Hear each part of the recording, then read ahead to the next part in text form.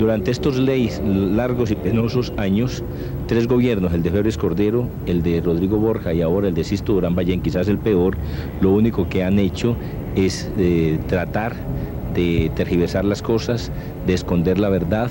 ¿Por qué Doris Morán Rivadeneira a estas alturas sigue pagada por el pueblo ecuatoriano y sigue dentro de la institución policial?